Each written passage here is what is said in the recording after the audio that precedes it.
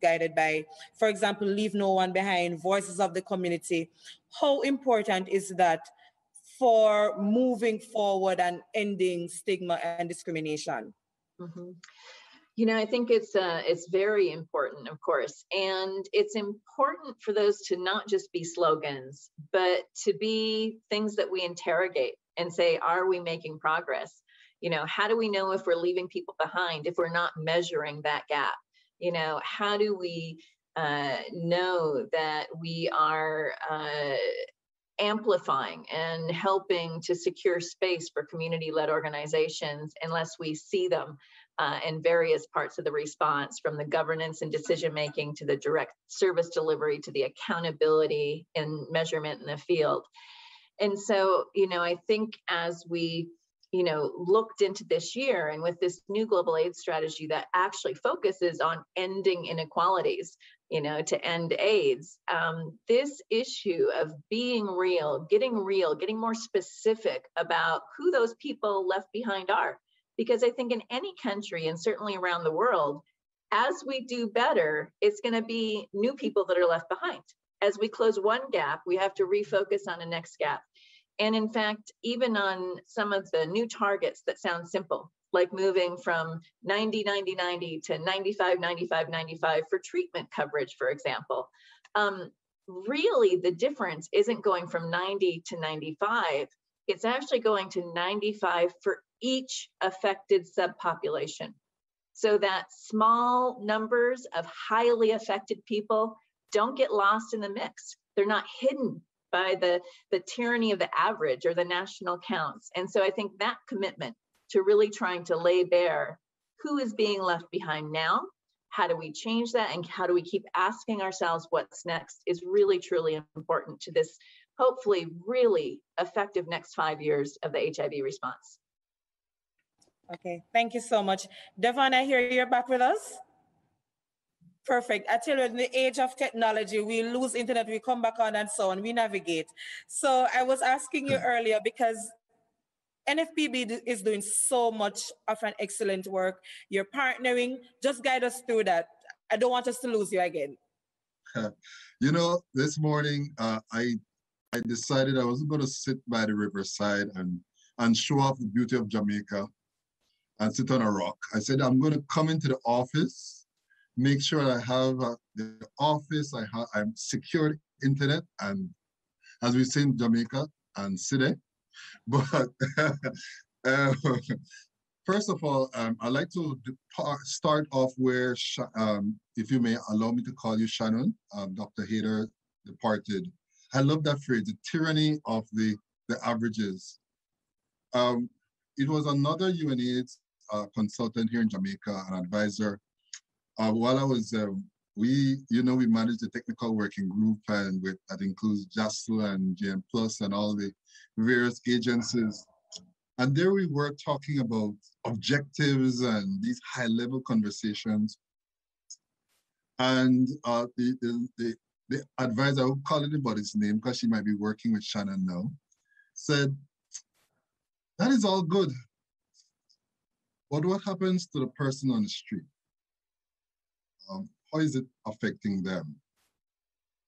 And it is for that reason why I'm so proud of the relationship and the partnership that we're building outside of health settings to recognize that when it comes to HIV and AIDS, we're talking about people's lives. We're talking about their children. We're talking about their destiny, their legacy, because we, we, we tend to forget the mental health aspects the issues of growth, us not only surviving, but thriving, and doing this in an environment in which you're living with a chronic illness, meaning that you must have access to life-saving, and in many cases, life-giving medication and services. It therefore means that as much as I would love as, as an agent of the Ministry of Health to concentrate only on the dispensation of medication. I have to remember that people have to work.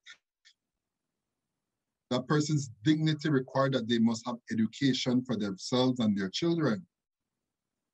That a person should not feel victimized or less than empowered to seek assistance if their nosy neighbor decides to take it upon themselves to run them out of their community or start a whisper and a rumor campaign about them in church and think that that is something that they can get away with. I am speaking frankly like this because it allows people to recognize that when we speak of stigma and discrimination and human rights in Jamaica, or us, the National Family Planning Board, it is not a, let me use a term that's what a, a person likes to use that I respect so highly, but it reminds me of the challenges we face as a response as it relates to enabling environment human rights. Nebulous utopia. Ay, ay, ay. When I hear that, I tell you, I've been hearing that as the director for a while. And um, when I when we approach UNAIDS, um, I see we don't often remember the technicians in the room. So I will call out Ruben, who is on the line. And I said, Ruben, this is the vision that we I have we have for enabling environment for human rights. I want to accomplish the, before I demit. Who knows? We want to accomplish these things. Um, I'm glad that Shannon has mentioned the dashboard. Um, the reporting, the annual report that we're launching, that we're launching, the operational operationalizing that moved from the nebulous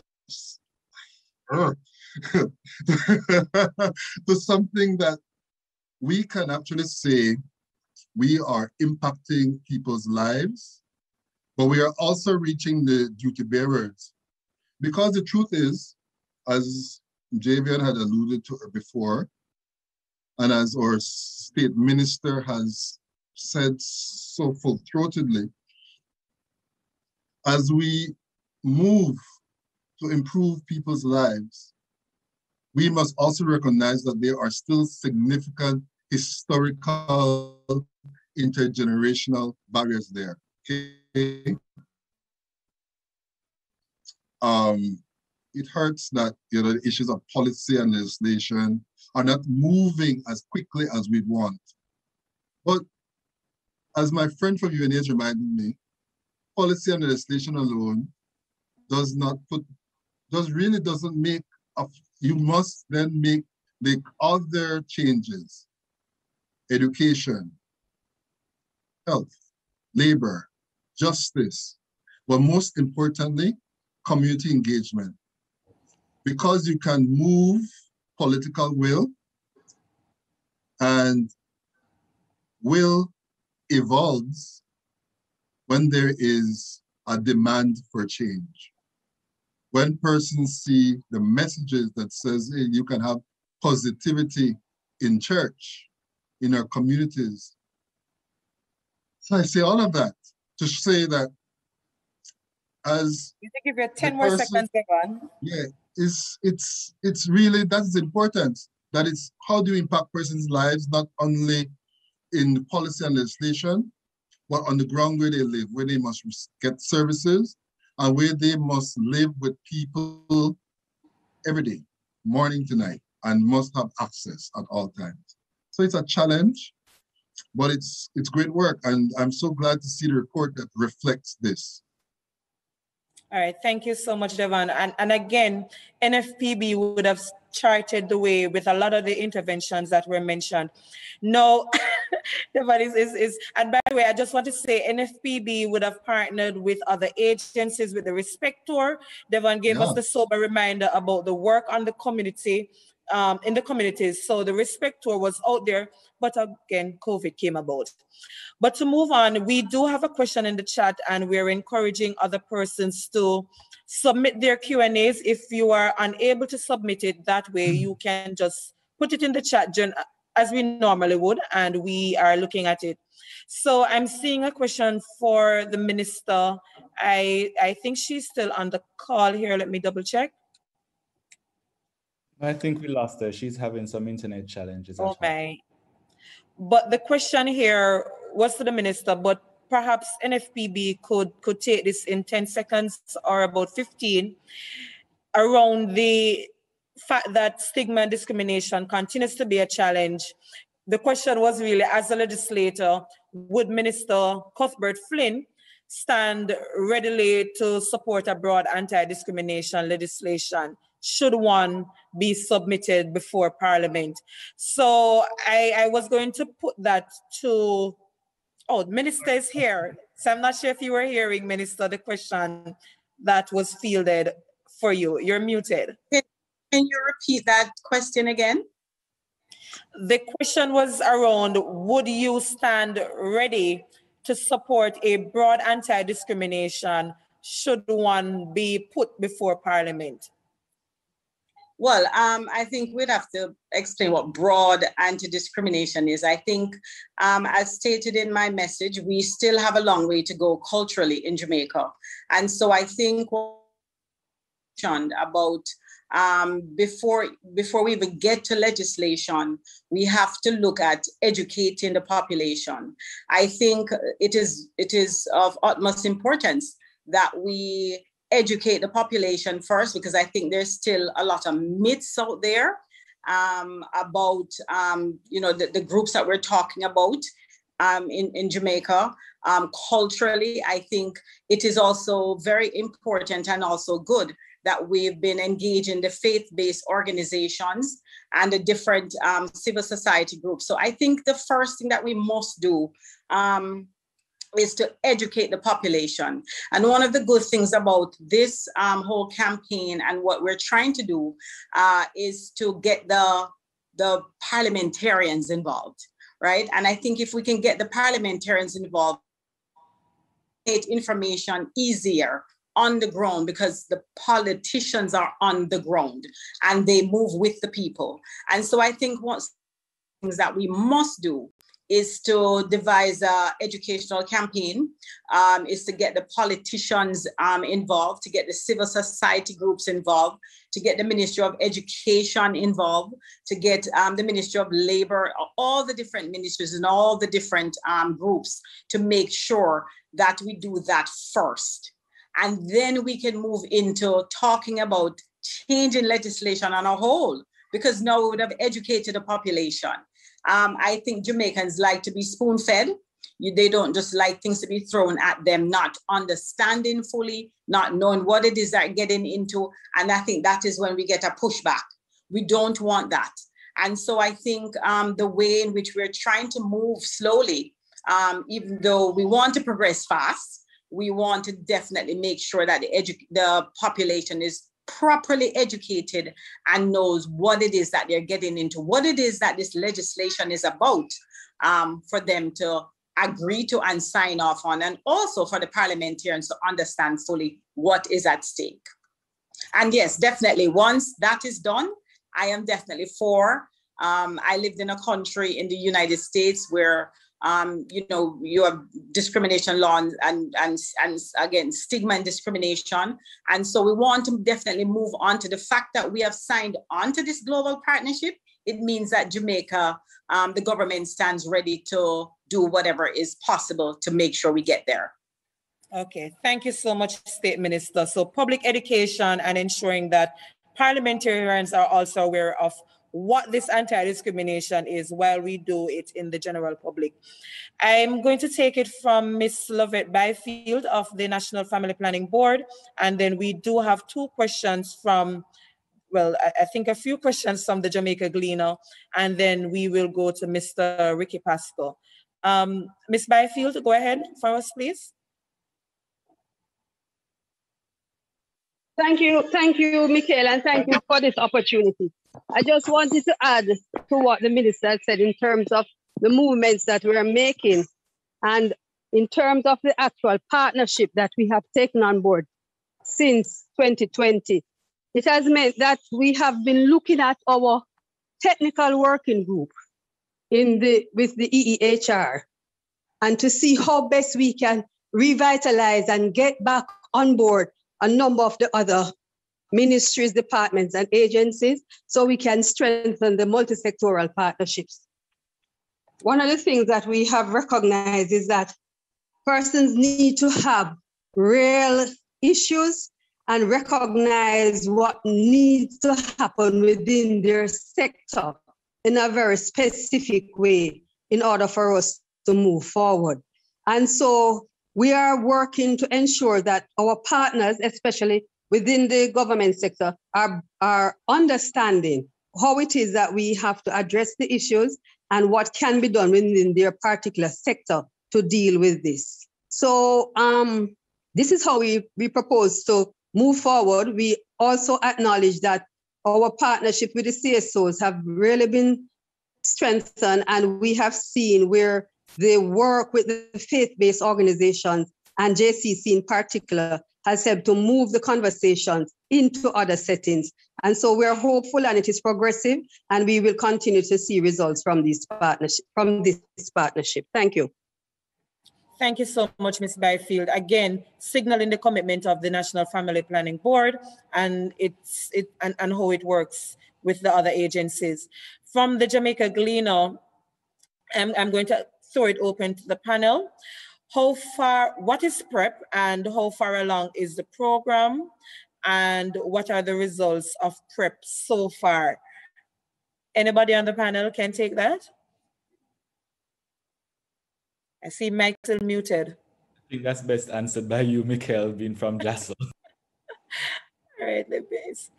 Okay, so the pre-prophylaxis program is a preventative measure to ensure that those who are high risk of contracting HIV, that transmission risk would have been significantly reduced.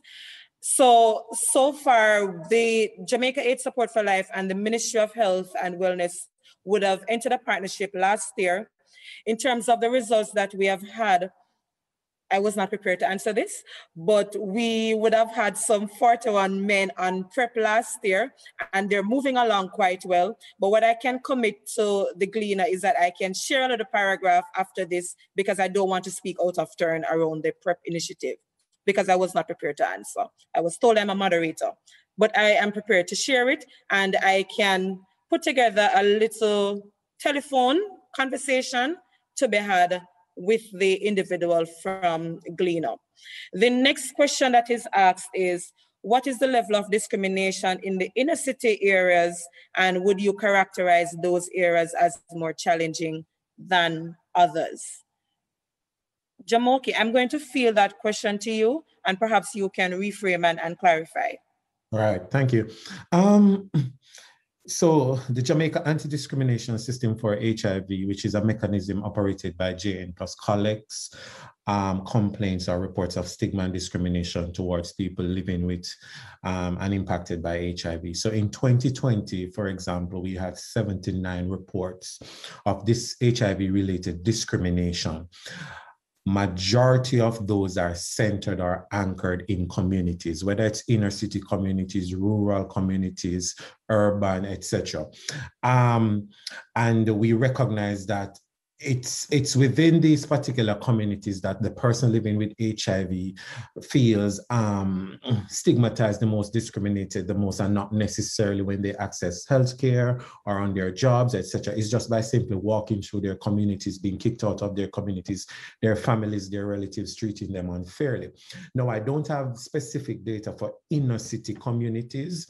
The only data I can ha I have so far is to say that majority of our discrimination cases are based in communities, physical communities, locations. And it, it continues to be a huge problem in terms of where we are when we talk about stigma and discrimination in Jamaica and how people living with HIV are treated. And the Global Partnership is one such initiative that will support those activities. I beg your pardon. And that will help us to sensitize and get people within the country to be at a place where they are very more accommodating and accepting. And the minister talked earlier about Jamaicans wanting food speeding. And that's what we really have to be doing, actually, even at JN Plus, going into the communities and doing this sensitization, talking about the various issues. For people to understand and to be more aware and more accommodating and dignifying the lives of people living with HIV.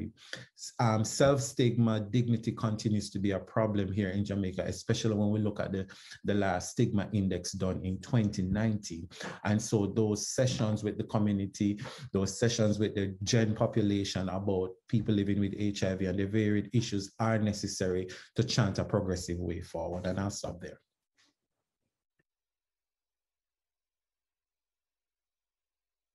For us, um, think I am still muted.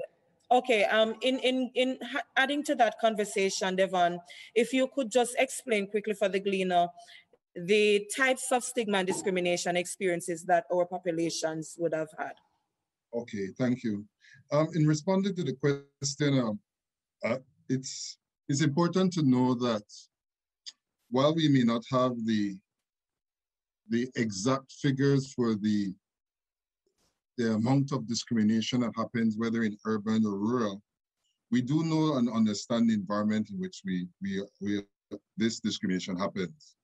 Um, Jumoke alluded to community settings, but you also have institutional settings such as school or issues of justice or access to justice.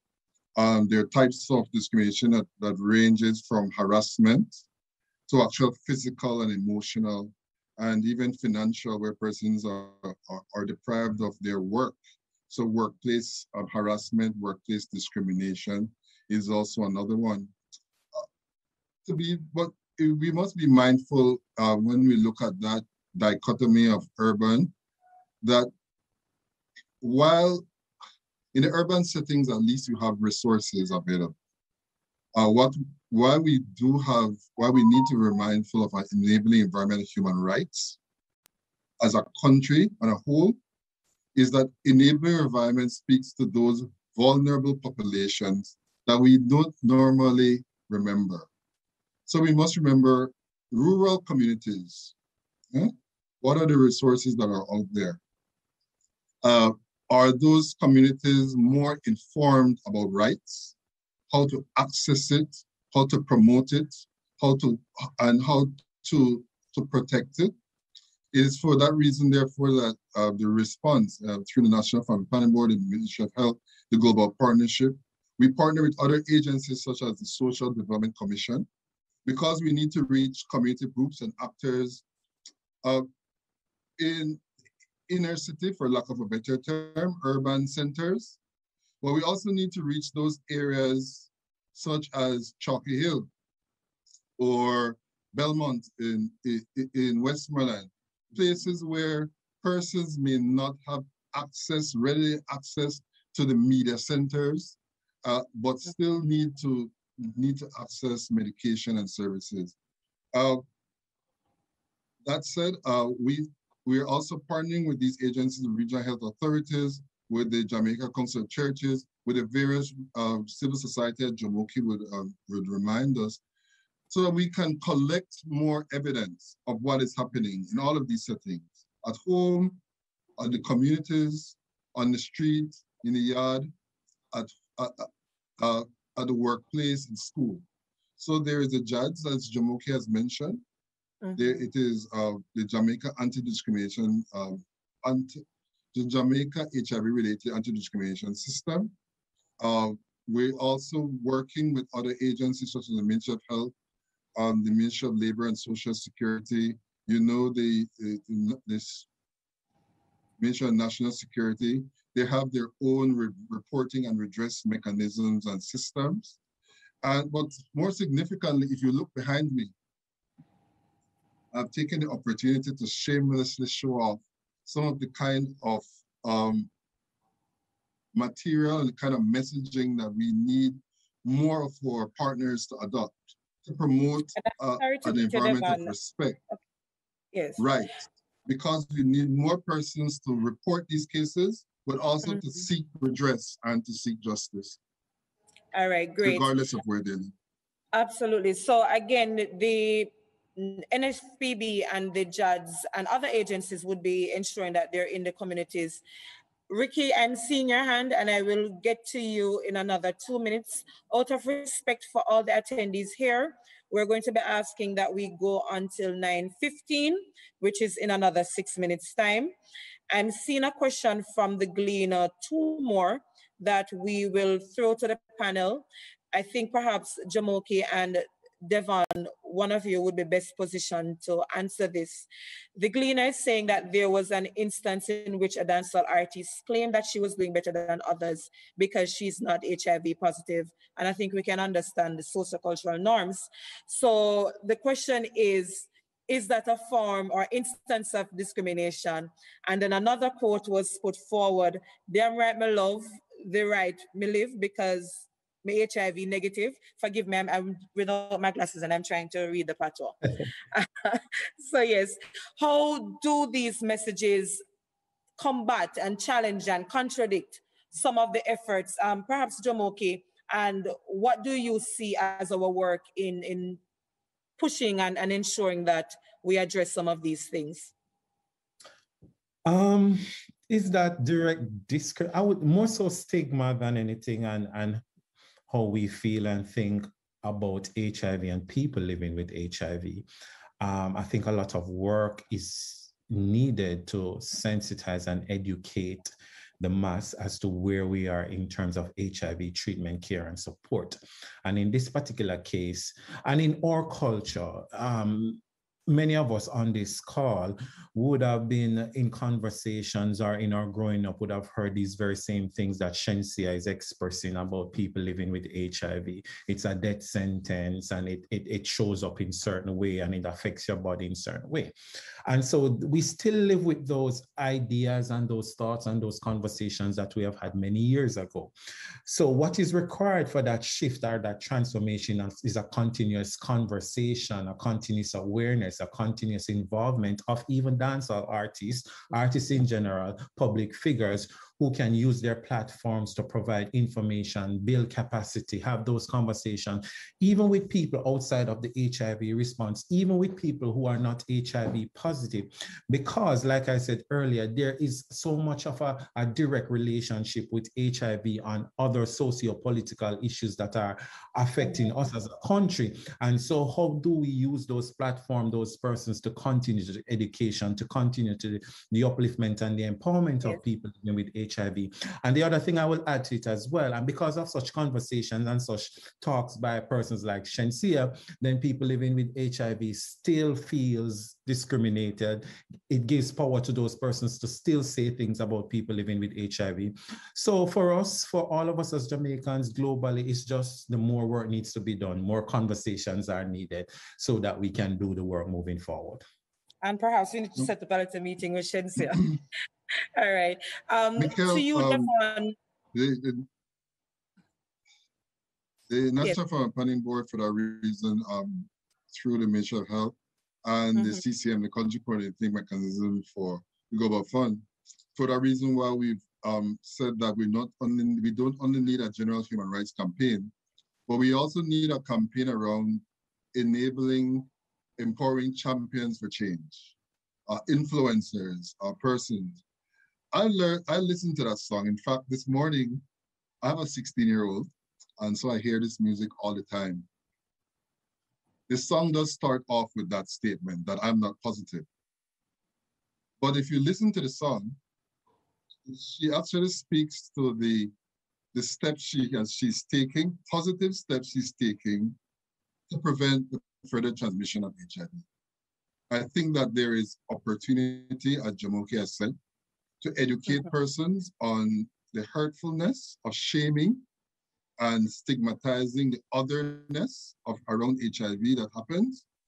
But at the same time, we must look for opportunities to embrace artists like Shenseea, who are extremely talented and have the ability to shift not a few a few minds, but thousands, if not millions.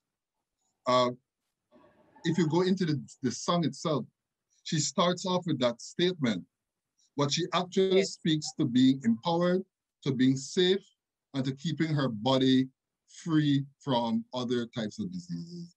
So it's to build so on the latter artists like her and others can yeah, they can be educated, they can be brought, they can be sensitized, and they can be reminded of our rights. And uh, one, one of our rights is not only to promote or, you know, promoting our right of expression, that we do not cause more harm. And so there are opportunities to build her up and to make her a stronger ally and to make her strong, even more impactful. All right, also, and another question, Devon, just to quickly follow up. The Gleaner is asking, last question from the Gleaner before I get to Ricky. What was the success or the challenge? What are some of the successes and challenges with the campaign that would have been undertaken by the National Family Planning Board?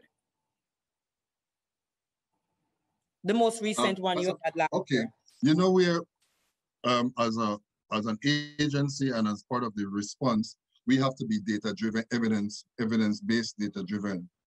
Uh, anecdotally, we've gotten very positive feedback. Um, any campaign that speaks to things that are outside of the norm, if it's provoke, if it's provocative, it gets people to say, "But I don't experience that. I don't see that. What are you talking about?" I think that is good. There's one in which, for instance, where a policeman is a police officer is being so polite, and the woman is being, um, you know, strident, and she knows what she's saying. Believe it or not, there are people who say, "But not, not Augusta, Jamaica," but that is the point. That is the point. It must provoke, it must evoke, and it must also show what what is the best practice or the best way of going forward. Um, so anecdotally, we've gotten very positive feedback. Dollars and cents, the Office of Public Defend Defender has not run away from the campaign. In fact, they're running to the campaign. They're giving even more of their own resources. Um, they're now, they're funding, uh, they have helped to fund a, rate, a, a, a ongoing radio program about knowing your rights. Um, we the organization. Sorry to cut you. Okay. Um, uh, before no, you move there's on, no, I'm there's no need. I just wanted to show people this is a dynamic campaign that is mm-hmm. supported, mm -hmm. that is being invested. As you can see, we're also having the materials and we're also going out into the community. COVID-19, as this report shows, has not stopped our need for enabling environment and human rights. And therefore, this response has embraced virtual sessions, smaller face-to-face groups. We've gone out to other partners and tried to work with them. The work is getting done, more work has to be done. The human campaign must continue.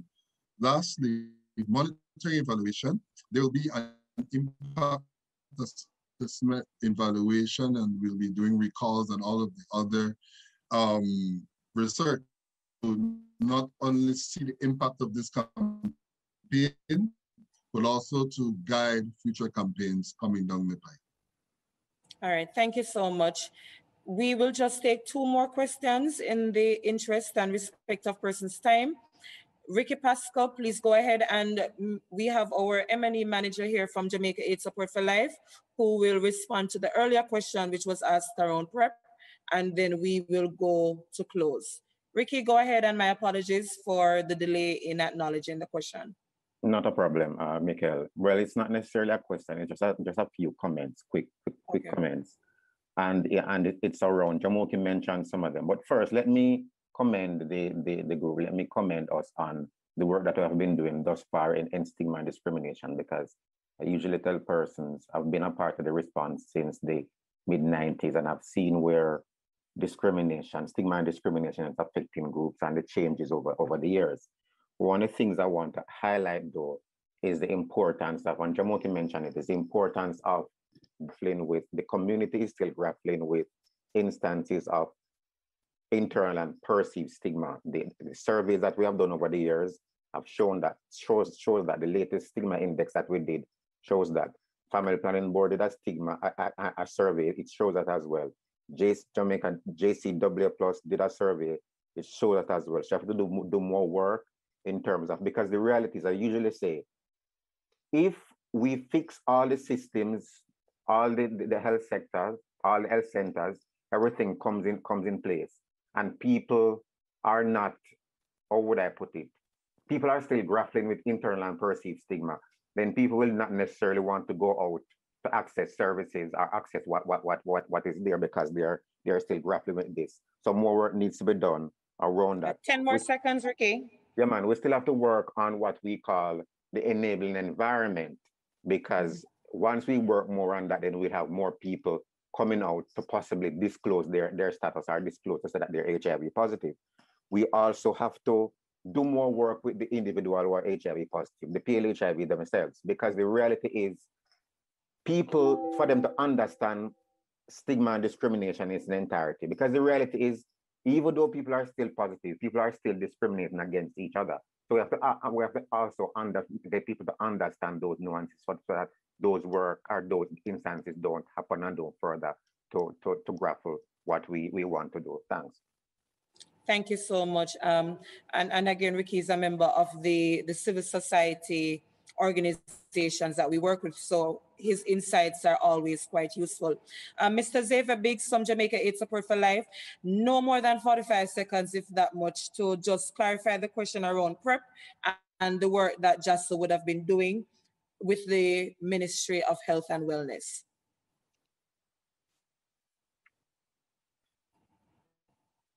Okay, so I, I hope you're able to hear me. I'm I'm in transit. The the Jamaica Aid Support for Life has partnered with the Ministry of Health and Wellness first and foremost to implement a PrEP pilot.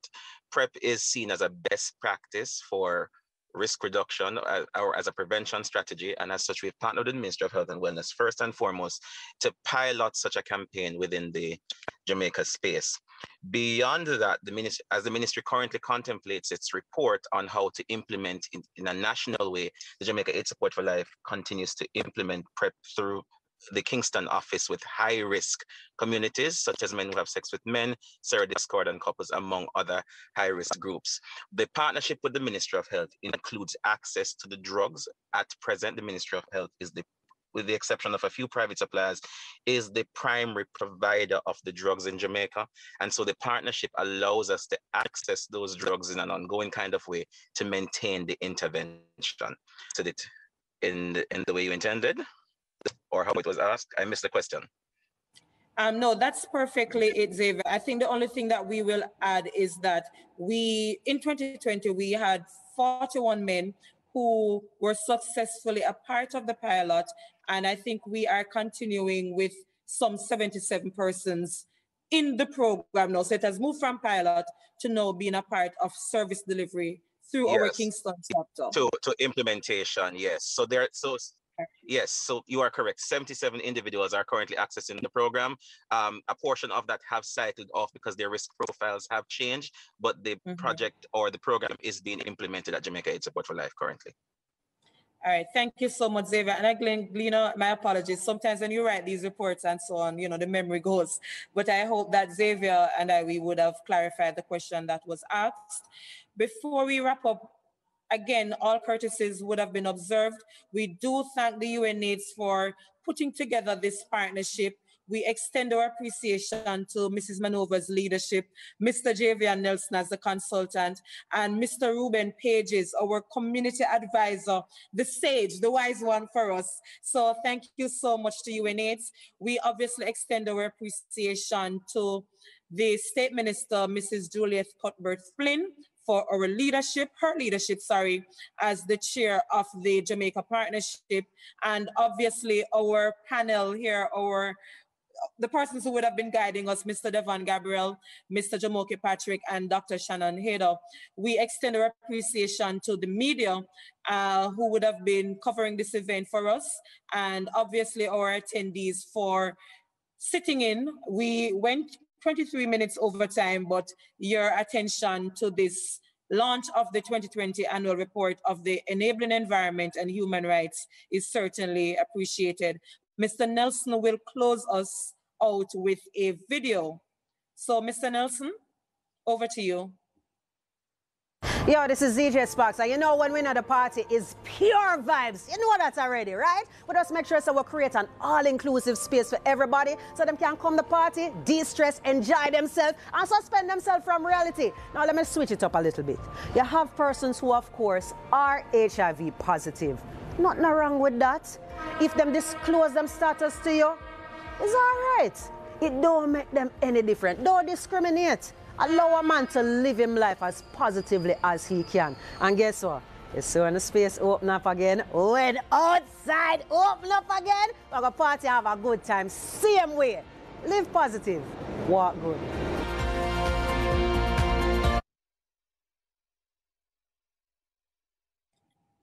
Thank you so much, Javen. That was great. And congrats. Have a good day, everyone. Uh, Mrs. Manova, any last words for you before we, we, we? okay. Thank All right. you so much for everyone participation. All right, perfect. Thank you, everyone. Goodbye. Have a good Friday and weekend.